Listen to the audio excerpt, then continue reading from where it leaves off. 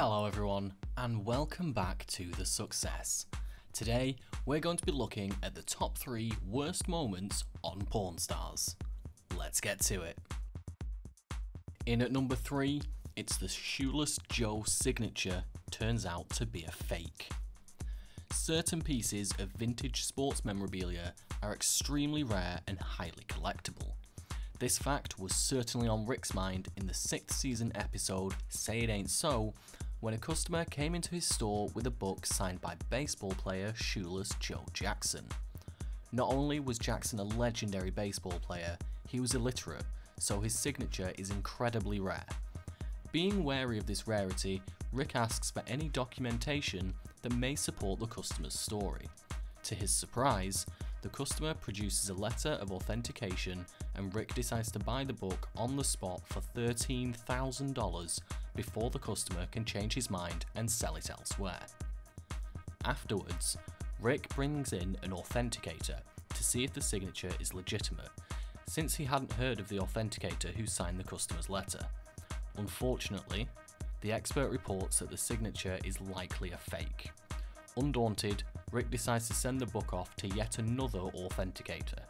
What he gets back is a laundry list of reasons to be confident that the signature is a fake. Upon hearing the news, Rick is roundly criticised by the old man Corey and even Chumlee for hastily spending over $10,000 on the worthless book. At number 2, it's the fake gun.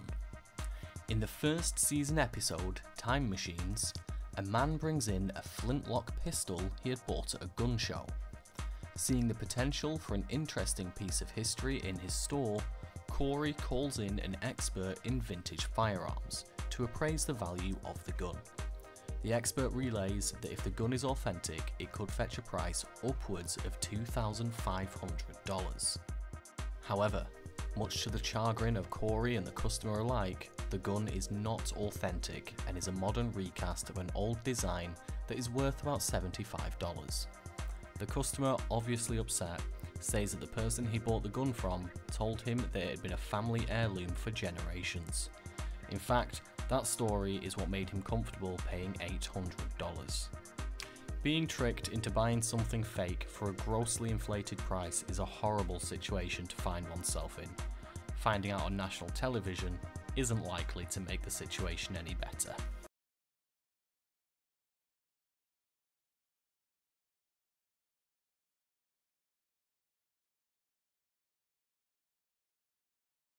And at number one, Rick nearly causes a fight. By accident.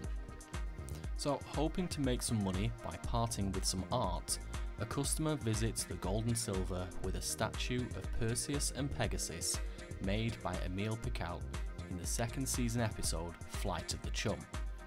Being familiar with Picault's work, Rick knows that his statues are highly collectible and worth thousands of dollars, so he gives the customer's item a thorough look. Rick immediately becomes suspicious when he finds markings on the statue that do not match the period it was produced in. He then finds markings engraved on the statue showing that it was made in the United States. And since the artist is French, this confirms that the statue is a reproduction. At the suggestion that the statue may not be entirely authentic, the customer gets angry with Rick. Agitated, the customer says, I don't care what you say, I don't care what you tell me, but I know you're full of. As the tension mounts, the pawn shop security guard, Antoine, begins walking toward the customer in case an intervention is needed. However, he is waved off by Rick. In the end, the old man diffuses the situation by calmly yet firmly explaining that they are not interested in buying the statue. Thank you so much for watching everyone. If you enjoyed this video, then please feel free to hit that like and subscribe button. Until next time.